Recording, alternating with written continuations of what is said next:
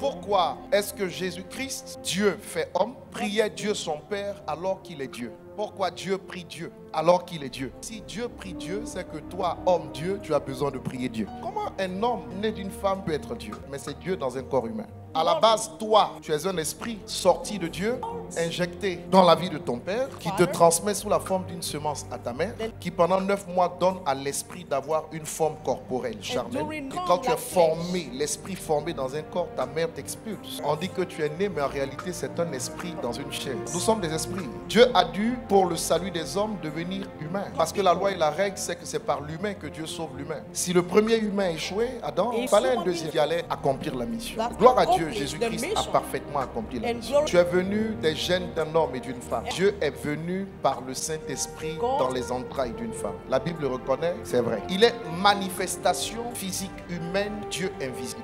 Et Dieu, c'est le tout en tout. C'est le créateur de tout. C'est l'inexplicable. C'est par Christ Jésus que Dieu devient explicable. Au-delà d'être le corps, Christ est la parole. Et tout ce qu'un chrétien fait, il le fait avec la parole. Alors, naturellement, pourquoi est-ce que mon corps va parler à mon âme? Pourquoi est-ce que Christ va parler dans la prière au Père? Parce que la parole exprime ce qui se trouve à l'intérieur de nous. Ta parole doit exprimer le ressenti de ton âme. Ta parole doit exprimer ce qui est dans l'âme. Et donc, ta parole ne peut pas exprimer ce qui est dans l'âme si elle ne va pas à l'âme pour savoir ce que l'âme pense avant qu'elle ne puisse sortir.